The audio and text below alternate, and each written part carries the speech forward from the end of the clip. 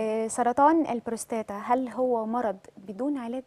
يعني إحنا خلاص عجزنا في الطب إن إحنا ما نديلوش علاج ولا هي مجرد يعني أنا دايما بسمع حضرتك من بعض ال- المرضى يقول لك خلاص أنا جالي سرطان أنا كده يعني حتى لو خدت أدوية دي مجرد مرحلة وأنا هنتهي.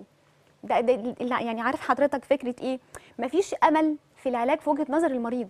طيب هو سرطان البروستاتا بيختلف عن السرطان في الجسم كله ليه اولا هو مرض حاجة مهمة جدا آه، والله أول مرة أعرفها لا لا هو في حاجة هو مرض بطيء في انتشاره يعني مرض بطيء. بطيء, جدا يعني ممكن مم. المريض يصاب بسرطان البروستاتا أو بيتم تشخيصه وهو عنده سنوات 60 طويلة. سنه آه يقعد 20 سنة أو 15 سنة على ما يبدأ المرض ده ينتشر أو يكبر مم. ده مش ده مش قانون يعني بس إحنا بنتعامل معاه لأنه مرض بس. ده بيحصل آه دي رقم واحد رقم اثنين ملوش علاج لا، أو على حسب المرحلة يعني علشان كده لو المر... أنا بقول دايما الناس اعمل PSA بدري لو المرض ده بدري موجود في مرحلة متقدمة يعني قبل ما ينتشر قبل ما يبعت ثانويات للعظام وللكبد والأماكن تانية في الجسم مم. بيبقى حله بسيط أو بيبقى مم. حله إن بيتعمل عملية بسيطة كده بيتشال النسيج الداخلي بتاع الخصية اللي هي المفروض المصدر الرئيسي لهرمون التستوستيرون بالظبط. المغذي لغده البروستاتا فده بي- بيهبط المرض جامد بيأخره لورا بيمنع انتشاره وبيمنع تقدم ال- المرض آه، لو العملية دي مش مرغوب فيها في طرق دوائية إنك تكسر هرمون التستوستيرون في الجسم بحيث إن المريض عايز يحتفظ بالنسيج بتاع خصيته أقصد أقول إن في حلول كتيرة حلول موجودة كتيرة بس موجودة. كل ما كان اكتشاف المرض مبكرا, مبكراً. كل ما كان العلاج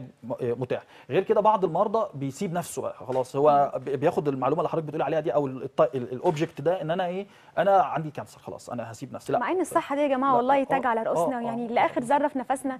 لازم نتمسك موضوع الصحة ده